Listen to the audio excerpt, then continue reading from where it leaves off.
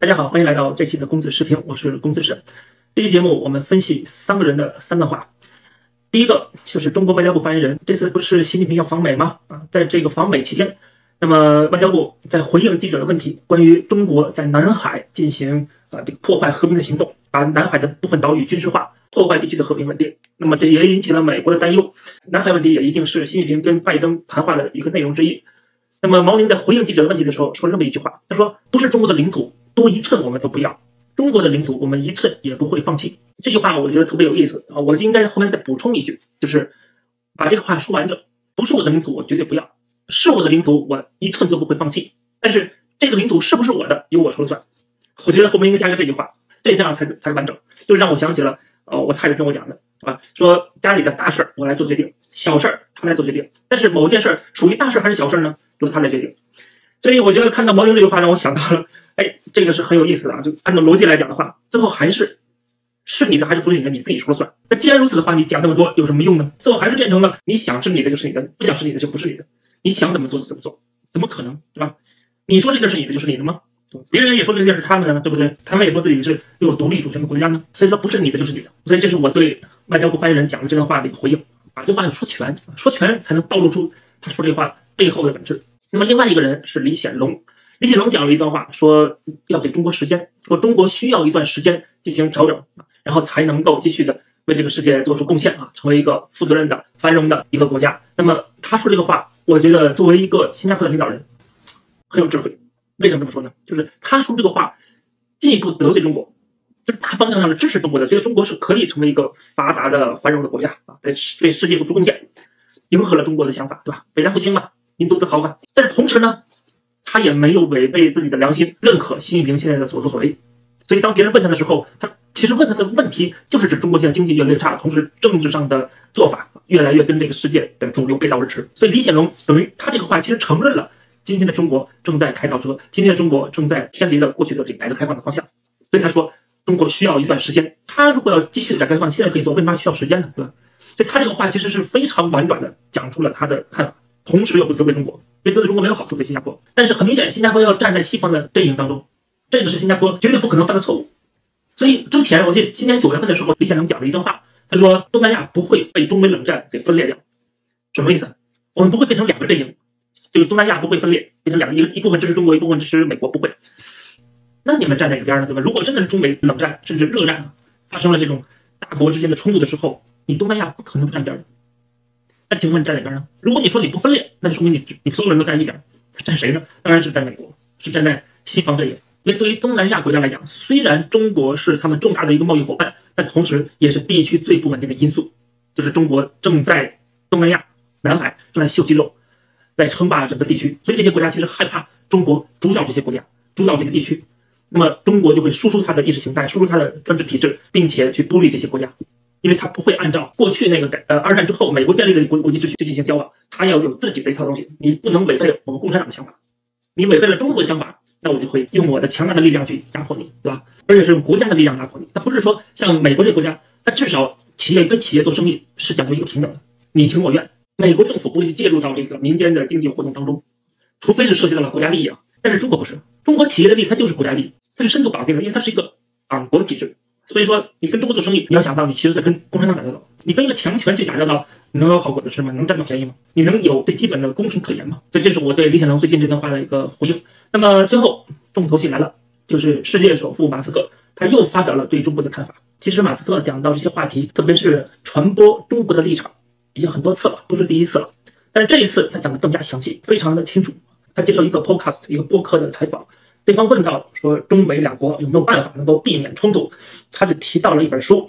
这个书以后我们有机会讲，就是哈佛大学一位教授写的，提到了一个很知名的理论，是他发明的，叫修昔底德陷阱。就在历史上很少有一个老大和老二不发生冲突的，特别是当老二崛起的时候，老大为了维护他的地位，而老二呢要争夺他的权利。双方就会爆发军事冲突，所以他说这是一个修昔底德陷阱。马斯克就非常推崇这本书啊，虽然他没有讲太多，但是很明显他是认可这个学者在这本书里的讲法，也就是说他很有可能知道中美必有一战。但是他说了什么呢？说中国的崛起几乎是不可避免的，中国经济未来可能是美国的两倍到三倍。想象一下，从任何人记事的时候开始，你一直都是这个街区最大的孩子，可这时候突然有一个体型是你两倍的孩子，那会发生什么，对吧？后面呢，这主持人问他的一些问题，就让他夸一夸中国，那他又后面就讲了讲中国的好，就他眼里中国的好的地方，比如说人民非常勤劳，这一点我也是认同的，很多人非常的勤劳，任劳任怨，对吧？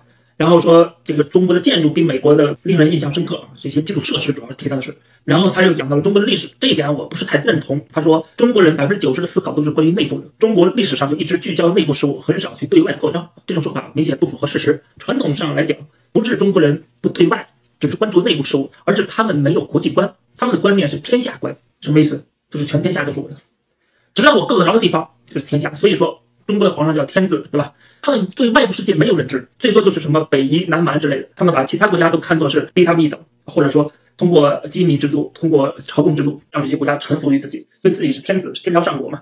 所以这并不是说它只针对内部不对外部，而是它是有另外一个观念。这种观点是一种像东亚这种地区的农耕文明所特有的一个观点，这跟欧洲的地中海的文明和后来的这个大航海时代开启的文明是完全截然不同的。所以马斯克讲的说中国不是个好奇的国家啊，不去入侵其他的国家，这种说法其实不对。秦国横扫六合，这是不是侵略？这是不是扩张？你怎么能说对外部势力不好奇呢？他不好奇就不会吞并别的国家了，对吧？那他历史没学懂呢，那也很正常。毕竟他在其他方面有伟大的成就，我们就不管他了啊。中国历史不及格，只是看到了一些只言片语，呃，很皮毛的东西，而且也是错误的，很可能是中国的那些官员呐，或者中国官方的那些说法影响了他。但是，他最富争议的是后面讲的台湾问题。他说中国对台湾的感情非常的强烈，而且他还提到夏威夷，说对中国来讲啊，台湾就像是夏威夷，比夏威夷还重要。其实夏威夷已经对美国来说已经非常重要了。他这个说法等于再次的宣传了中共的观点，就是台湾对我们来说非常重要，我们必须统一，我们一定会统一。当然，马斯克并没有讲说，我认为台湾是不是应该统一，台湾是不是独立国家，他没有说。但是他不停的好几次在给外界传输这个观点，就是中国一定要拿下台湾，谁都阻挡不了。你这什么意思？对吧？你这是吓唬谁呢？然后他说，台湾没有成为中国一部分的原因，就是美国的第七舰队。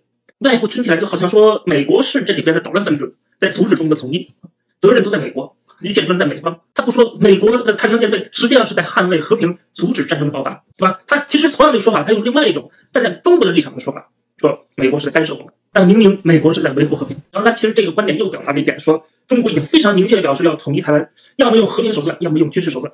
从他们的立场来看，统一是百分之百会发生的。传输中国的观点，中国的立场，有必要吗？中国要统一台湾，这不是尽人皆知的事吗？用得着你不停的一遍一遍的说吗？对吧？作为美国人，怎么不说点儿美国应该怎么办？对吧？美国怎么阻止中国去入侵台湾，去捍卫和平？对吧？这才是他应该说的话。但是他说的全部都是中国的 talking point，就是中国的观点。所以说，从这儿可以看到他被中国的这种宣传影响有多深。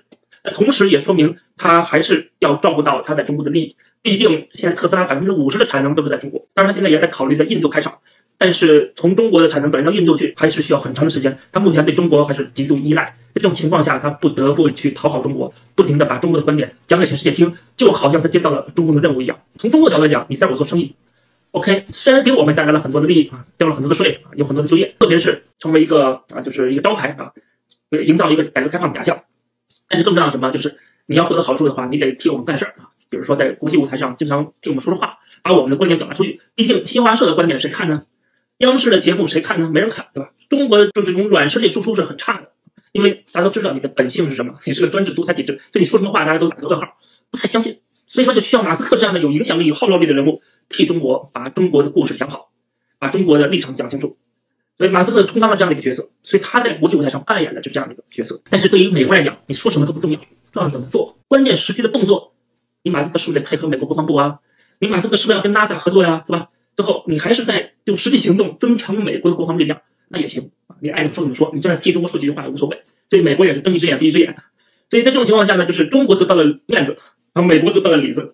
所以在这场游戏当中啊，这个马斯克就两边讨好，两边占便宜了。所以我们也不用太计较说马斯克替中国说话产生多大影响力，其实没有太大关系。西方媒体也不会特别去报道马斯克替中国说什么话，因为所有人都知道，马斯很多的一部分生意都在中国。